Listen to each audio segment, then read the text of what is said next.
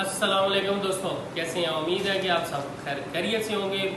आज मैं आपके लिए बहुत ही बच्चों की स्पेशल और कुछ बड़े भी होते हैं, उनकी भी स्पेशल रेसिपी है। आए अब आपको बताता हूँ आज मैं आपके लिए क्या लेके आऊँ। जी दोस्तों, आज हम आपको पिज़्ज़ा बनाना सिखाएँगे। उसके लिए हम ये स्वीट कॉर्नस ले रहे हैं। चिकन के पीसीज आपने इस तरह कर लेने हैं।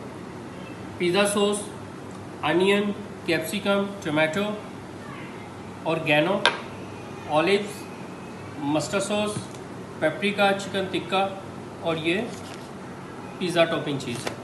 और बनाना है किसमें ये भी तो आपको पता होना चाहिए।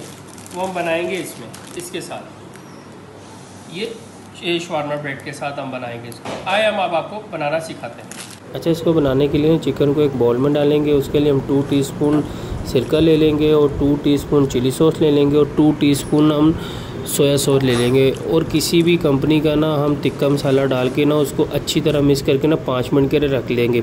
एक हम कढ़ाई लेंगे, उसमें थोड़ा सा हम ऑयल डाल के ना ये जो चिकन हमने मिक्स किया था ना, इसको अच्छी तरह पका लेंगे, तब तक जब तक इसका ना जो सारे मसाले पानी खुश्क ना हो जाए।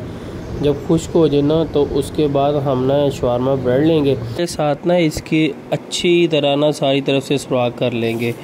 उसको करने के बाद ना पिज़्ज़ा सॉस जो है ना, उसको अच्छे से लगाएँगे। उसके बाद हम जो चीज़ हमारी चीज़ है ना, इसको ना भर देंगे।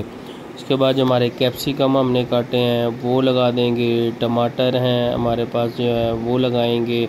फिर जो हमने ऑनियन जो हमने काटे हुए थे, उसको लगाएँगे। उसको लगाने के बाद जो हमने टिक्का जो बनाया हुआ था चिकन उसको लगाएँगे। उसके लगाने के बाद जो है, ये ब्लैक ऑलिव्स हैं। ये लगाएँगे। उसके बाद दोबारा फिर चीज़ की थोड़ी सी टॉपिंग करेंगे। उसको टॉपिंग करने के बाद ना हम उसको पैन में डाल देंगे। पैन को ना डालने डालने से पहले ना उसको थोड़ा सा ना इस तरह ग्रीस कर लेंगे। ग्रीस करने के बाद हम इसको ना चार मिनट के लिए ना हम रखेंगे और मीडियम लो फ्लेम पे हमने रखना है।